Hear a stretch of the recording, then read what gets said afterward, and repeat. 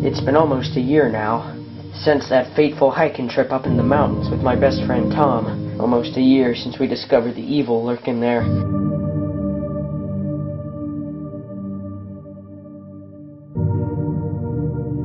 I'll never forget his face as he was being devoured. I'll never forget his screams. And I wouldn't have survived either. It weren't for a troop of singing lumberjacks who came along and pulled me free of the monster's clutches. But they didn't believe my chilling story and turned me over to the asylum.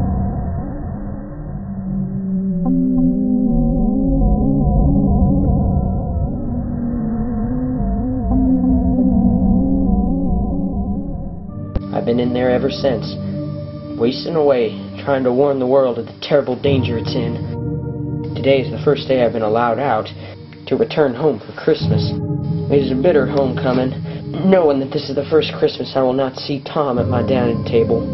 I swore on Tom's memory that I'd get my revenge on those trees for what they did to him. My doctors say I'm not allowed to talk about that anymore. But what does that matter now? I'm finally going home, and this cursed ordeal is finally over.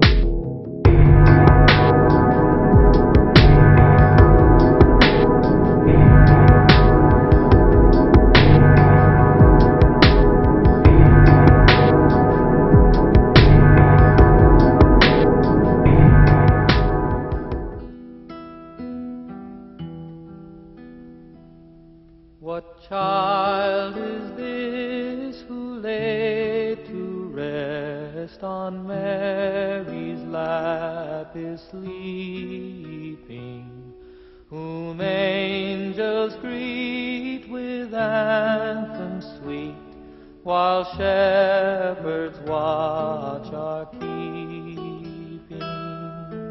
This, this is Christ the King, whom shepherds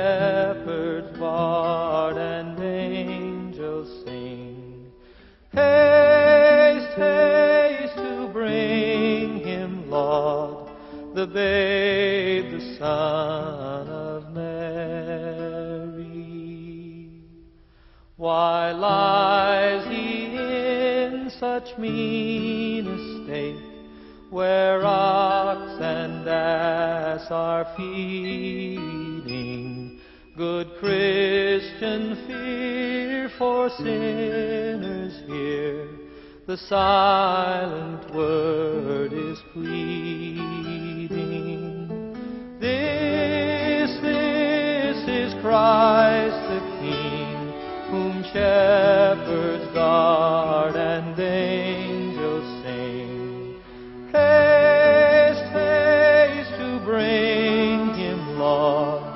Babe, the Son of